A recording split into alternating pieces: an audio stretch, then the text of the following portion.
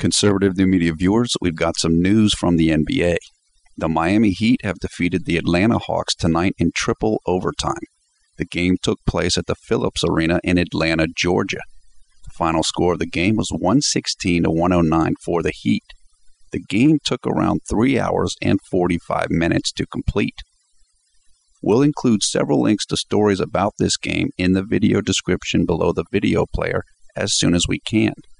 The first of those links will be to the box score and video highlights of tonight's contest. For Miami, there was a measure of revenge gained tonight in the win. The Heat's only loss of the season came three days ago in Miami to the Hawks. Miami was without stars LeBron James and Dwyane Wade, who both sat out with lower left leg injuries. The Heat outscored the Hawks 7 to 0 in the third and final overtime. The score was 109 to 109 at the end of the second OT. Miami was led by Chris Bosh's 33 points, 14 rebounds, and 5 assists. Guard Mario Chalmers had 29 points, 7 boards, and 8 assists. 22 of Chalmers' 29 points came in the fourth quarter and the three overtimes.